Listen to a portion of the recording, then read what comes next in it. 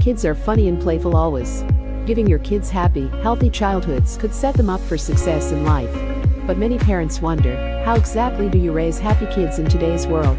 Here are some ways to keep your kids happy. Welcome to Pin Genius, where you explore, experience and learn. Pin Genius is a destination where you learn some of the amazing facts, explore many unknown things, and make your day bright. Encourage outdoor play. Don't underestimate the power of outdoor play. Running on the grass, climbing trees, sitting on a swing, and digging in the dirt is good for kids. But kids today spend less time playing both indoors and out. Over the last two decades, children have lost 8 hours per week of free, unstructured, and spontaneous play. Playtime isn't just goofing off.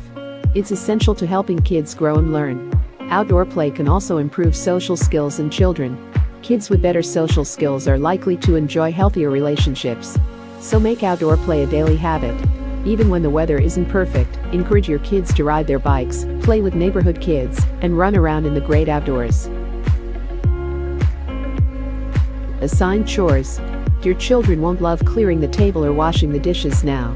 But, assigning chores could be a key factor in helping them achieve long-term happiness. One study found that giving kids chores at age 3 and 4 was the biggest predictor of long-term success. It may be that children who do chores feel like they're pitching in, and that helps them feel more connected to their families. And that sense of connection may help them stay mentally strong when they encounter hard times.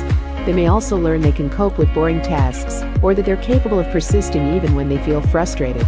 Making their beds and cleaning the kitchen can also give them a sense of accomplishment and show them that even though they're young, they're capable of making a difference. Teach them to build relationships. Nobody denies learning about relationships is important, but how many parents actually spend the time to teach kids how to relate to others? It doesn't take a lot. It can start with encouraging kids to perform small acts of kindness to build empathy. Also practicing gratitude in your everyday lives can help your kids be more responsible. This not only builds essential skills and makes your kids better people, research shows over the long haul it makes them happier. Expect effort, not perfection. Relentlessly banging the achievement drum messes kids up. Parents who overemphasize achievement are more likely to have kids with high levels of depression, anxiety, and substance abuse compared to other kids. The research shows that the kids who strive to do hard things are more likely to live happier lives. So it's good to give their children the choice to pursue their dreams. It might be a profession that no one has taken, but surely it will be a profession that your kid would love. These are some of the things that your children should do. 1. Less screen time. 2. Self-control. 3. Form happiness habits. 4. Stay with a positive environment. 5. Always spend a good family time. We're often more open to new methods when it comes to work and careers, but ignoring tips when it comes to family is a mistake.